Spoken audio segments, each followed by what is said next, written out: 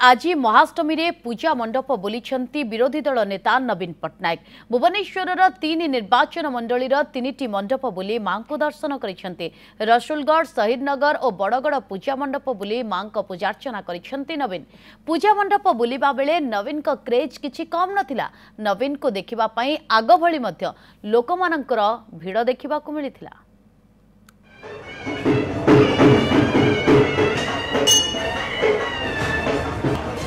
ମିଳିଥିଲା ପୂଜା ମଣ୍ଡପ ବୁଲିଲେ ନବୀନ ପତିଆରା ଦେଖାଇଲା ବିଜେଡି। ଭୁବନେଶ୍ୱରର ତିନିଟି ନିର୍ବାଚନ ମଣ୍ଡଳୀର ତିନିଟି ମଣ୍ଡପ ବୁଲି ମାଙ୍କୁ ଦର୍ଶନ କରିଛନ୍ତି ବିରୋଧୀ ଦଳ ନେତା ନବୀନ ପଟ୍ଟନାୟକ।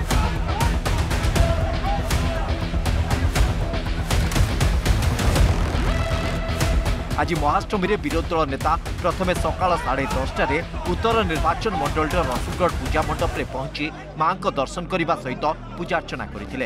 ମା ଜଗଜ୍ଜନନୀଙ୍କ ପାଖରେ ସେ ଆଳତୀ କରିଥିଲେ।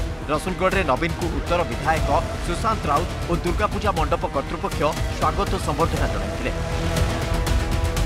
ପରେ ମଧ୍ୟ ନିର୍ବାଚନ ମଣ୍ଡଳୀ ଶହୀଦନଗର ଦୁର୍ଗାପୂଜା ମଣ୍ଡପରେ ଯାଇ ମାଙ୍କୁ ଦର୍ଶନ କରିଥିଲେ ନବୀନ। ଶହୀଦନଗରରେ ଭୁବନେଶ୍ୱର ମଧ୍ୟ ବିଧାୟକ ଅନନ୍ତ ନାରାୟଣ ଜେନା ଓ ପୂଜା କମିଟି ପକ୍ଷରୁ ନବୀନଙ୍କୁ ସ୍ୱାଗତ ଓ ସମ୍ବର୍ଦ୍ଧନା ଦିଆଯାଇଥିଲା। ନବୀନ ମଧ୍ୟ ହାତ ହଲାଇ ଲୋକଙ୍କୁ ପୂଜାର ଶୁଭେଚ୍ଛା ଜଣାଇଥିଲେ। ଶୁଭେଚ୍ଛା ଓ ଅଭିନନ୍ଦନ ଜଣାଉଛି।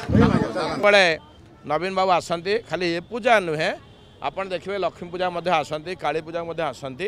ସବୁବେଳେ ଆସନ୍ତି। କୋଭିଡ଼ ପରେ ମଧ୍ୟ ସବୁତ ରେଷ୍ଟ୍ରିକ୍ସନ୍ ଦେଲା ଗଭର୍ଣ୍ଣମେଣ୍ଟର ଏଟା ତ ପୁରା ସାରା ଭାରତବର୍ଷ ରେଷ୍ଟ୍ରିକ୍ସନ୍ ନହେଲେ ନବୀନ ବାବୁ ଯେତେ ପୂଜା ପ୍ରାୟ ସବୁ ପେଣ୍ଡାଲ ଶେଷରେ ଏକାମ୍ର ନିର୍ବାଚନ ମଣ୍ଡଳୀର ବରଗଡ଼ ପୂଜା ମଣ୍ଡପ ବୁଲି ମାଙ୍କୁ ଦର୍ଶନ କରିଥିଲେ ନବୀନ ପଟ୍ଟନାୟକ।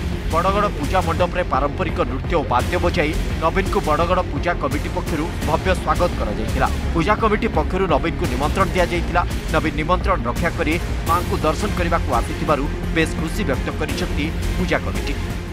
ଭୁବନେଶ୍ୱର ମହାନଗର ନିଗମ ଅଞ୍ଚଳରେ ତିନୋଟି ମଣ୍ଡପ ବୁଲିଛନ୍ତି ଗୋଟିଏ ରସୁଲଗଡ଼ରେ ଗୋଟିଏ ଶହୀଦନଗର ଏବଂ ଏଠି ବରଗଡ଼। ବରଗଡ଼ର ଐତିହ୍ୟ ହେଲା ବରଗଡ଼ ଏକ ପୁରୁଣା ଗାଁ। ଆପଣ ଏଇଠାରେ ଏଇ ଠାକୁର ଅଛନ୍ତି ପତିତପାବନ ମନ୍ଦିର।